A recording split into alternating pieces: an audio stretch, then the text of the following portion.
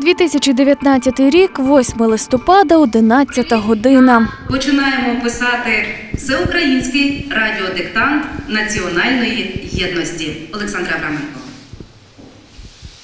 Послухайте назву диктанту від бересту до цифри. 19-й радіодиктант національної єдності на українському радіо згуртував українців. Текст у прямому ефірі читав відомий мовознавець, автор підручників і посібників з української мови та літератури Олександр Авраменко. Він складає текст диктанту останні 13 років. Цього року автор вніс у нього кілька елементів на перевірку нової редакції чинного правопису. У День української писемності та мови диктант єдності пишуть викладачі та студенти Тернопільського національного педагогічного університету імені Володимира Гнатюка, адже рідну мову поважають та плекають. Українська мова вона не є опціональною, вона є must to be, вона повинна бути.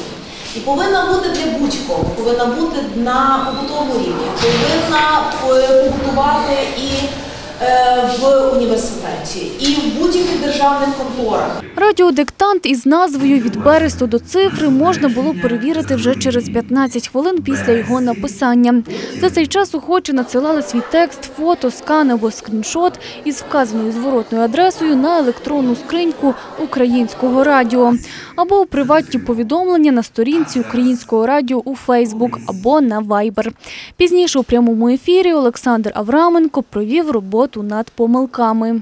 Зрозуміло і закономірно, що пов'язалася тема сьогоднішнього диктанту власне із постаттю Нестора Літописця. Диктант, я думаю, і для всіх, і для нас, філологів, не був складним, не було складних слів, все-таки, складних е, пунктуаційних.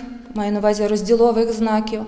Тому я думаю, що всі справилися. Але головне, мабуть, і не те, чи ми правильно всі написали, а головне те, що це є диктант національної єдності. Я цей диктант писала ще в школі, починаючи з 9 класу, і тому зараз, коли знала про цю подію, я не просто не могла не відгукнутись. Дуже переживала через новий правопис, чи я його зможу згадати, тому що ще коли я здавала ЗНО в 11 класі, я за старим правописом його писала. Але насправді він не був дуже важкий. Автори безпомилкових диктантів отримують заохочувальні призи. Минулого року радіодиктант національної єдності написали 32 тисячі 779 людей. З них 313 без помилок.